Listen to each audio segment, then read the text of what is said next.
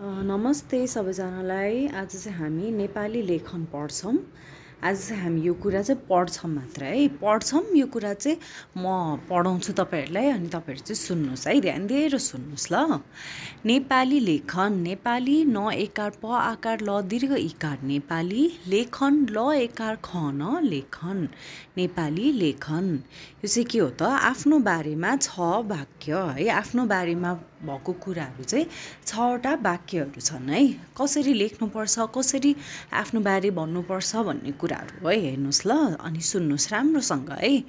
आफ्नो अ आकार आदि फ न ओकार आफ्नो बारेमा ब आकार र एकार म आकार बारेमा छ छ वाक्य व आकार आदि क य वाक्य आफ्नो बारेमा छ वाक्य। र पहिलो वाक्य के छ हेर्नुहोस् त? मेरो नाम ड्यास ड्यास हो।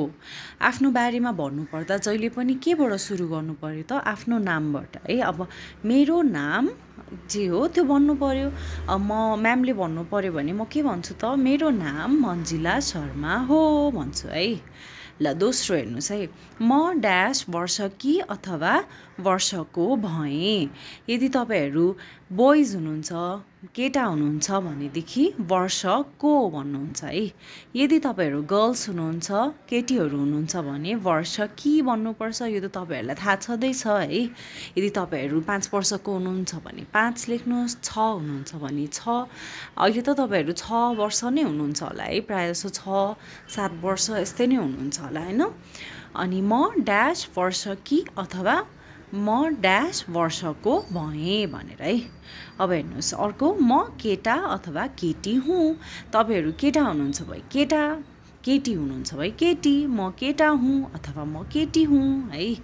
ल म ड्यासमा बस्छु। आफू बस्ने ठाउँको नाम पनि भन्नु पऱ्यो है। अब तपाईँहरू डल्लुमा बस्नुहुन्छ कि कता बस् बस्नुहुन्छ होइन? काठमाडौँमा बस्छु भन्नुभए पनि भयो। म डल्लुमा बस्छु म स्वयम्भूमा बस्छु। यसरी भन्नुभए हुन्छ है। म कक्षा अप्पर केजीमा पढ्छु। अहिले तपाईँहरू कति कक्षामा पढिराख्नु भएको छ त? अहिले अप्पर केजीमा है? म कक्षा अप्पर केजीमा पढ्छु भन्नु पऱ्यो है? ल मेरो विद्यालयको नाम स्वर्णिम स्कुल हो। अब तपाईँहरूको विद्यालयको नाम पनि भन्नु पऱ्यो म मेरो विद्यालयको नाम स्वर्णिम स्कुल हो भनेर है? ल अब अर्को छ। मलाई लेख्न र पढ्न मनपर्छ। तपाईँहरूलाई के कुरा मनपर्छ त? मलाई लेख्न पढ्न मनपर्छ। यदि तपाईँहरूलाई गाउन मनपर्छ यस्तो छ भने मलाई गाउन र नाच्न मनपर्छ। यदि तपाईँहरूलाई अरू नै केही मनपर्छ भने मलाई चित्र बनाउन र रङ भर्न मनपर्छ है। अब अरू केही पनि हुनसक्छ मलाई खेल्न र खान मनपर्छ होइन।